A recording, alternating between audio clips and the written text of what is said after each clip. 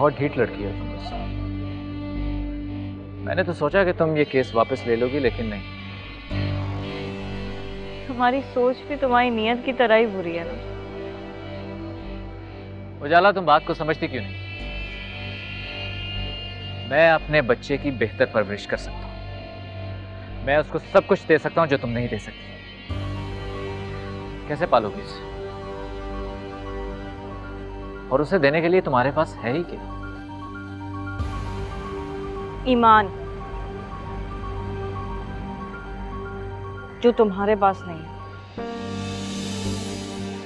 मैं अपने बेटे को ऐसे बाप के हवाले नहीं कर सकती, जिसे खौफे खुदा तक नहीं, जो कुरान पाक पर हाथ रखकर अल्लाह के नाम की झूठी कस्में खा सकता है और बाद में उनसे वो कर सकता है।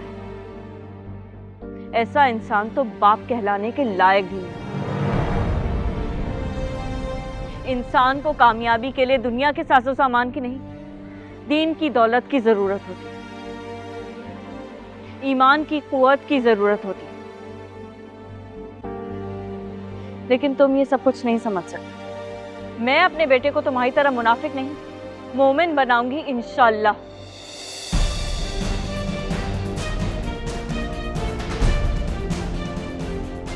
चलो जाना। मिस उजाला आज की हियरिंग के बारे में आप कुछ कहना चाहेंगी? मैं ये क्या बताएँगे आपको? मैं बताता हूँ ये सब इस औरत का ढकोसला है।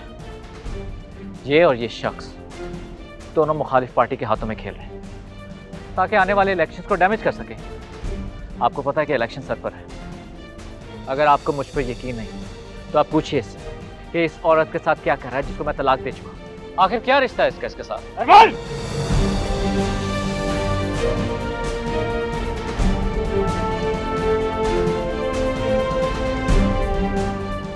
हमजा प्लीज़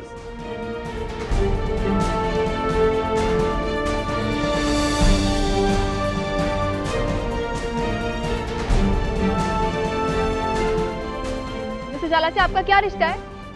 बताइए। क्या रिश्ता है आपका उनसे? ये कुछ नहीं बताएँगे आपको क्योंकि इनके रिश्ते का कोई नाम ही नहीं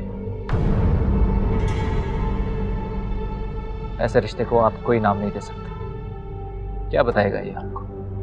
अपनी बकवास बंद कर। अपनी बकवास बंद कर! मैं बकवास कर रहा हूँ। तो भाई साहब आप ही बता दें कि आपका इनके साथ क्या रिश्ता है।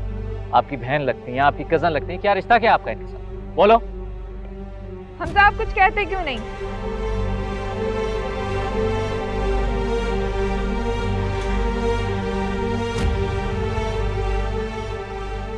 मैं बताती हूँ आपको, अरमान ने उजाला को डिवोर्स क्यों जब एक शख्स की बीवी उसके दोस्त के साथ अफेयर चलाए तो वो क्या करता है? डिवोर्स ही देता है ना? वही अरमान ने किया उजाला के साथ।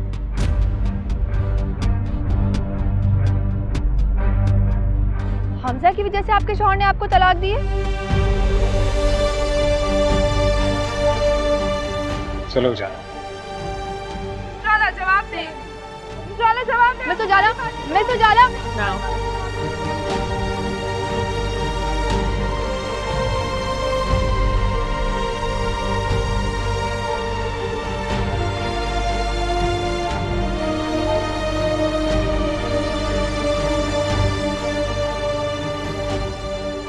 नाज़रीन देखा आपने? हमजा ने मिस उजाला ने हमारी किसी बात का जवाब नहीं दिया। अब देखना यह है कि दाल में कुछ काला है या पूरी की पूरी दाल काली है।